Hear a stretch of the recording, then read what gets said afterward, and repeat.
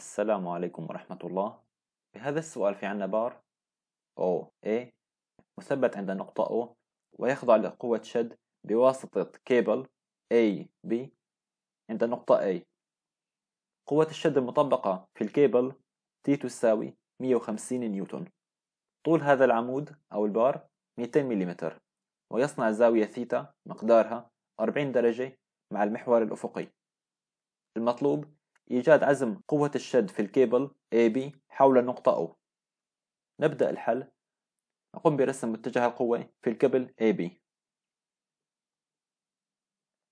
هي متجه القوة T متجه قوة الشد T المطبقة في ال cable AB يصنع ال cable AB زاوية مقدارها بيتا مع العمود.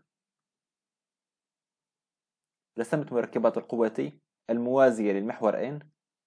والموازية للمحور T بهذا الشكل.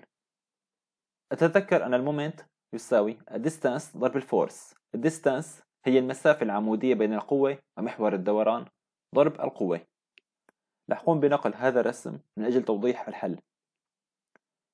أنا عندي العمود من النقطة O إلى نقطة A وطوله R يصنع زاوية ثيتا.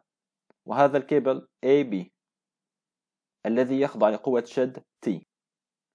رسمت خط أفقي يمر من النقطة A. هي المسافة العمودية هي R. هي المسافة.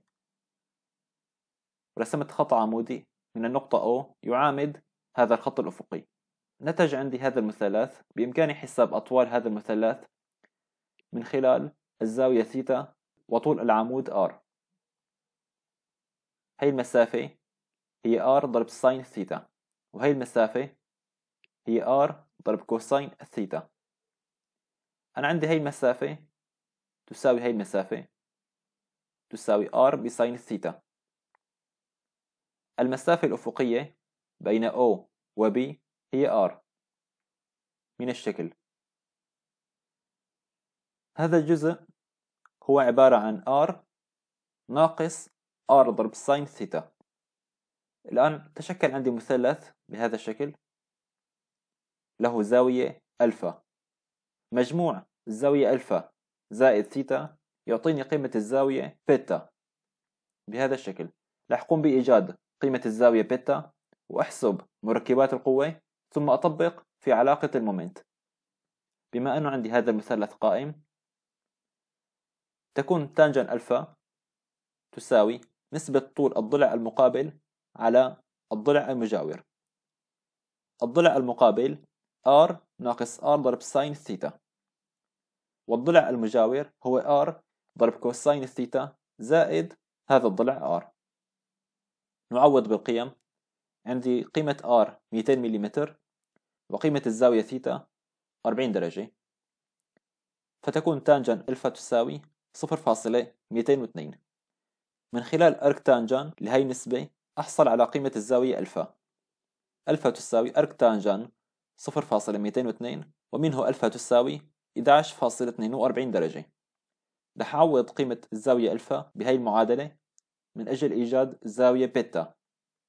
بيتا تساوي ثيتا زائد ألفا ثيتا 40 درجة وألفا 11.42 درجة فتكون الزاوية بيتا 51.42 درجة. الآن بعد ما أوجدت قيمة الزاوية بيتا بإمكاني التعويض في علاقة المومنت. MO عزم قوة الشد T حول محور الدوران O يساوي R1 ضرب مركبة قوة الشد الموازية للمحور T زائد R2 ضرب مركبة قوة الشد الموازية للمحور N. هي مركبات القوة T الموازية للمحور N والموازية للمحور T.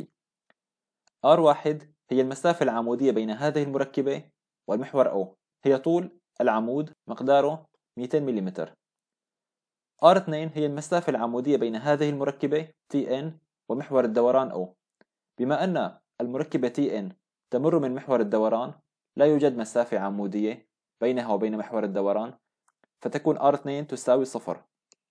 نعوض في المعادلة. R1 200 ملم قسمتها على 1000 لتحويل القيمة من ملم إلى متر. ضرب مركبة قوة الشد الموازية للمحور T. زائد R20 ضرب TN.